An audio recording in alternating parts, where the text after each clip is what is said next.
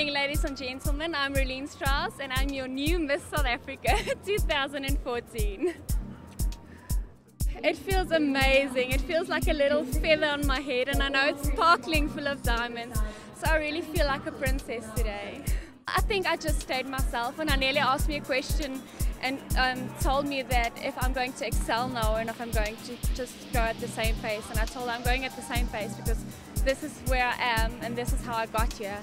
So I think it's just by being myself and having passion for South Africa and women and health. I love the people here supporting me so much, my family, my friends, and it feels so surreal. I, I can't wait for this year. I can't wait. Miss South Africa. Inspire a nation. Miss South Africa 2014. Proudly sponsored by Cell C.